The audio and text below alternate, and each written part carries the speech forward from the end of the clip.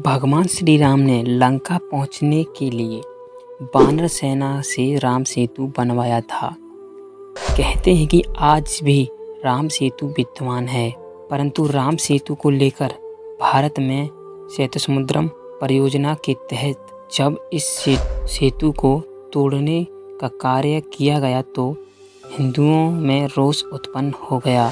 दोस्तों, आपने अक्सर रामायण में देखा होगा कि जब राम सेतु का निर्माण हो रहा था, तब वानर सेना पत्थरों पर राम का नाम लिखकर पानी में डाल रहे थे और वह पत्थर पानी में तैर रहे थे। कहते हैं कि उन पत्थरों पर राम का नाम लिखने से वह तैर रहे थे। तो दोस्तों, क्या आपने अपनी लाइफ में ऐसे किसी पत्थर को देखा है? नहीं? तो चलिए, हम इस वीडियो के माध्यम से आपको इस चमत्कारी पत्थर के दर्शन करवाते हैं। तो चलिए वीडियो को स्टार्ट करते हैं। देखिए, इस राम का नाम लिखे हुए इस पत्थर को, जो पानी में डूब नहीं रहा है। यह पत्थर कुछ समय पहले मछली पकड़ रहे बच्चों को मिला। वह इस पत्थर को घर लाकर इसकी पूजा पाठ की। दोस्तों, हमने रामायण में इस पत्थर को तैरते देखा था।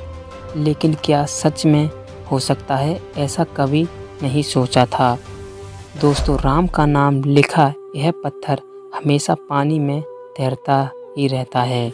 ऐसा कि पौराणिक कहानियों में देखने को मिलता है। इस वीडियो में आप देख रहे होंगे कि पत्थर पानी में फेंके जाने पर भी नहीं डूब रहा है और बार बार ऊपर ही आ जाता है।